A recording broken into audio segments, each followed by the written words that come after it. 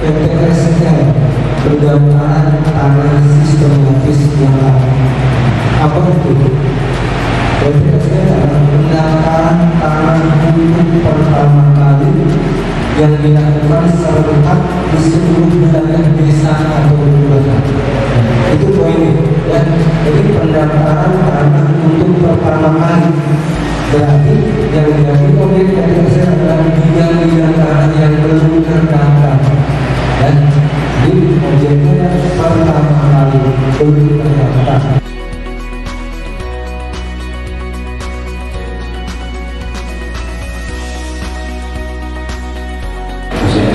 saya ini yang menjadi urgensi karena kenapa awal mulanya itu karena memang pada saat itu melihat banyaknya kendala atau permasalahan bahkan banyaknya permasalahan yang dilaporkan kepada kami terkait dengan TPS Alhamdulillah kita berdasarkan